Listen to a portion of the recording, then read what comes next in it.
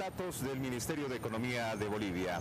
En 2005, antes que el presidente Evo Morales suba al poder, cuatro de cada diez bolivianos vivía en la extrema pobreza. Hoy esos datos se redujeron ostensiblemente de 4 a 2.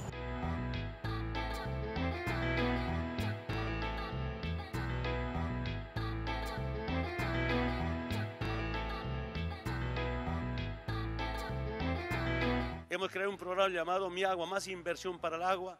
Y personalmente, ¿qué hago? Recoger todos los proyectos de agua potable o agua para riego de todos los municipios del país.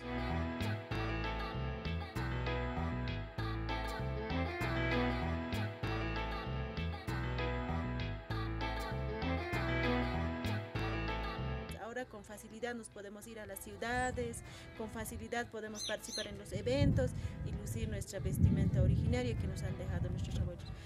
Eh, eso sí ubica realmente Bolivia para la región, eh, en algún modo, eh, en el mundo como uno de los países con los avances históricos más importantes.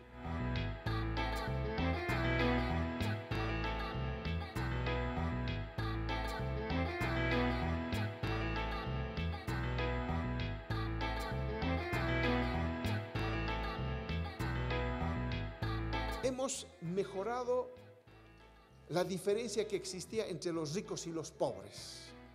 Quiere decir que si el 10% más pobrecito tenía un bolivianito en su bolsillo, el 10% más rico tenía 128 bolivianos en su bolsillo. Esa era la diferencia entre ricos y pobres. Esa diferencia la hemos reducido, ¿ah? la hemos reducido a solo 42 veces.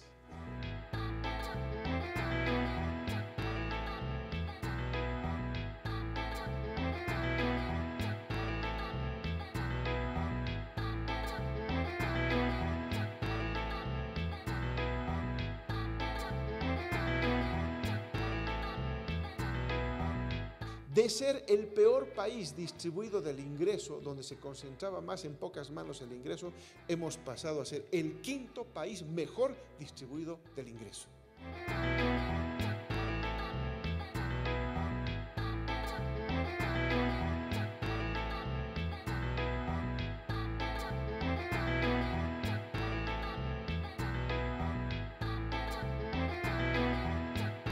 Los cambios en Bolivia llegaron acompañados de una recuperación de la soberanía, mayor participación del Estado, mayor participación social e independencia del Estado boliviano a poderes extranjeros.